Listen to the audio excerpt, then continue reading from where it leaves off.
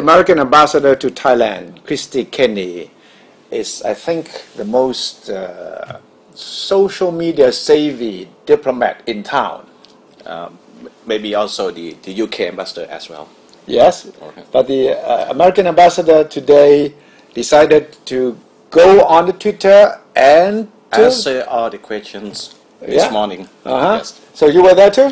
I monitor the timeline. I sent one, que- uh, one question. Yeah. Did she answer your question? Nope. No. I don't take it personally.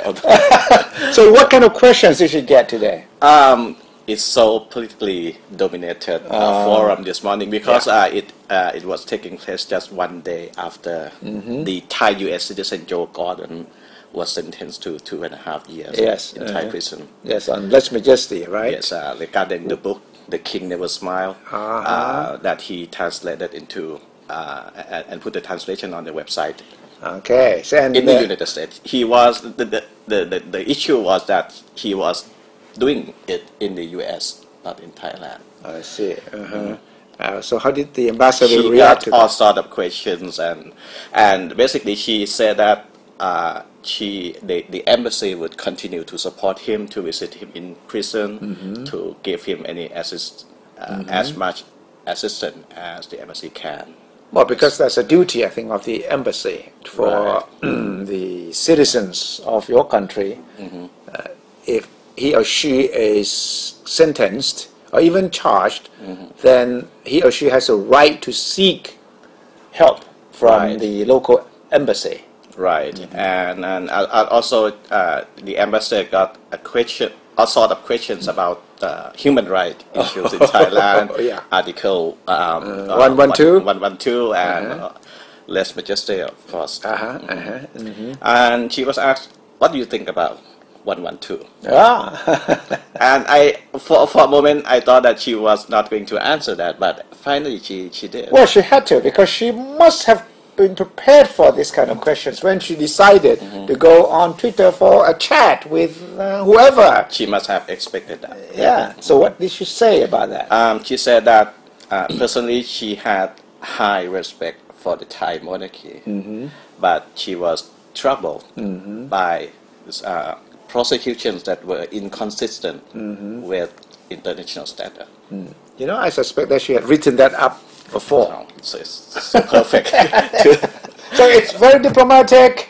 It is basically the principle is there. At the same time, she does not want to intrude into the local judicial process. right. See? Mhm. So she were, mhm.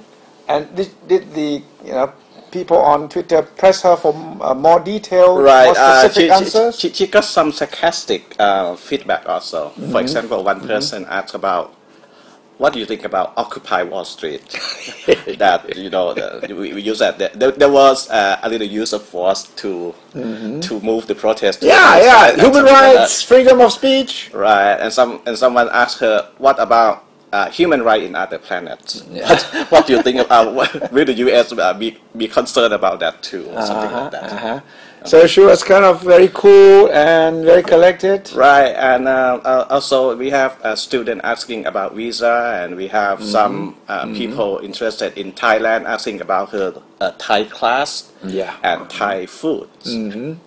Uh, and someone asked her whether she has adopted a, uh, adopted a test for durian. test. And she she Has she tried durian? uh, she, uh, not, uh, apparently not yet. She she she said not yet. So she doesn't know the test of durian yet. and she was asked uh, what what is the most difficult language in the world, and she said without a thought, Thai language. It's the most difficult. It's the most difficult. So it was a full hour of uh, Uh, Twitter interview. One hour interview, and it's very unprecedented, and I think it is a good because uh, Mm-hmm.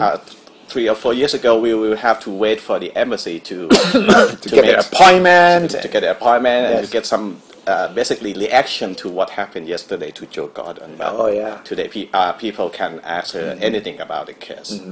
And you know, she tweeted about this interview on Twitter only this morning. She didn't give you any advance notice. Uh, we know, we knew about it. Uh, Really? uh, yesterday, uh, a lot of people uh, tweet about this uh, incoming Oh, session with so the she ambassador. she decided to do it uh, on her own. No one has asked her, her for that. Right. Um, I, I saw a lot of tweets uh, mentioning this uh, incoming uh, from, with her. Uh, So are you expecting other ambassadors to do the same? Other cabinet members to do the same? Uh, well, actually, uh, we, we had a similar discussion with the UK ambassador recently On Twitter. uh, on on the social media, uh, including the, the Facebook. Yeah. But uh, when the flood came, it was, it was uh, overshadowed by that. Uh-huh.